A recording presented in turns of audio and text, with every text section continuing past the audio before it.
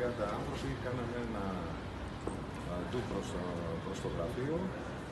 Α, Βάλανε κουκούλες, μπήκαν οι μισοί μέσα, οι άλλοι μισοί από κάτω. Τους είδα, ε, εντοπίσαν τον αστυνομικό μου, αρχίζαν να τον απειλούν ε, χιδέα και αυτός ε, απάντησε με έναν πυροβολισμό στον αέρα, ο οποίος τους έκανε ουσιαστικά να φύγουν. Μάλιστα. Ε, λέει, Φορούσαν ήταν κουκούλες, αυτή λεπτικά- ήταν από μέσα, από κάτω. Πώς Ήταν μέσα, η μισή πώς μέσα, έγινε η μισή ακριβώς. μέσα, η μισή έξω. Σπάσανε Ε, Είχαν κάτι. φτάσει έξω από το γραφείο μου, είχαν αρχίσει να γράφουν συνθήματα στους τοίχους, σπάσανε την πλανή πόρτα στο γραφείο.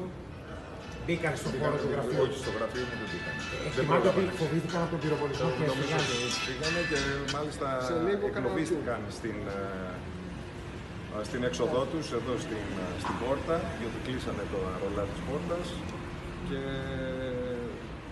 εγκλωβίστηκαν κάποιοι μέσα, αλλά ήταν αρκετοί, δεν είχε κλείσει το ρολό ως κάτω, επιστρέψαν όλοι για να μπορέσουν να το σηκώσουν, να το διαλύσουν και έτσι καταφέραμε να διαφορετικά. Φόρασαν κάτι Υπήρξε κάποιος σύνθημα. πυροβολισμός από κάποιον αστυνομικό στον αέρα για φοβισμό.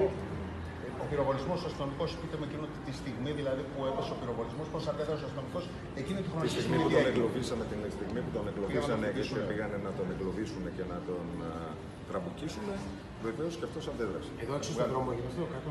Εδώ έξω στον δρόμο. Στον δρόμο, στον δρόμο. όχι στο γραφείο. Λοιπόν, ε, Είναι η δεύτερη εδώ, φορά. εδώ είναι η δεύτερη φορά που, τελευταία πέντε χρόνια. τα τελευταία χρόνια.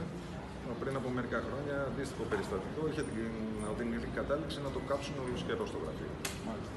Και, και Είχαν μάλιστα, ε, απειλητικά τηλεφωνήματα τις προηγούμενες ημέρες. Κοιτάξτε, σε αυτή τη χώρα, με το πλαίσιο της ανομίας που επικρατεί ιδιαίτερα στο κέντρο της Αθήνας, αισθανόμαστε σε μια διαρκή απειλή συνεχώς. Να είστε καλά. Ευχαριστώ πολύ.